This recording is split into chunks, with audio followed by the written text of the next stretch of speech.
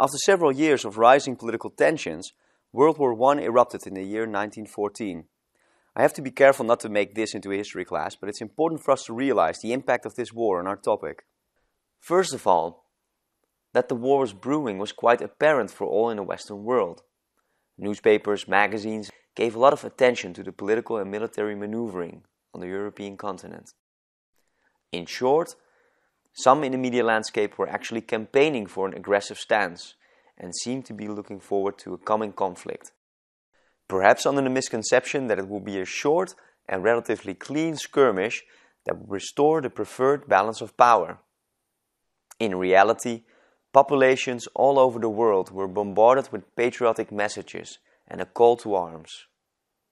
Of course, this wasn't the only content in the media landscape, but several years later, scientists that studied what had happened noticed the two correlating variables.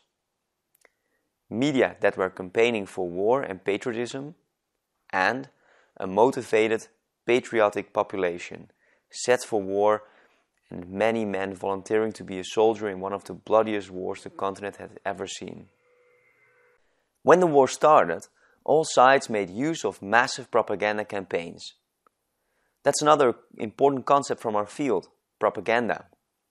It's often referred to as one-sided, biased and unobjective communication. Jowett and O'Donnell define propaganda as the deliberate systematic attempt to shape perceptions, manipulate cognitions and direct behavior to achieve a response that furthers the desired intent of the propagandist. The world had in 1914 never seen such a huge push to influence so many at the same time with use of mediated communication. The political and military leaders had perhaps learned their lessons from the ancient Greeks and Romans.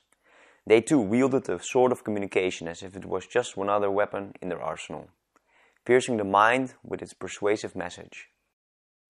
Again, scholars who studied events directly after the First World War noticed a correlation between an intensive propaganda attempt and all kinds of effects that were assumed to be the effect of this propaganda. It was seen as a reason why soldiers marched cheerfully into war, why the home front showed such a uniform support and respect for their military, why enemy soldiers decided to defect in mass to be imprisoned in military camps for the remainder of the war.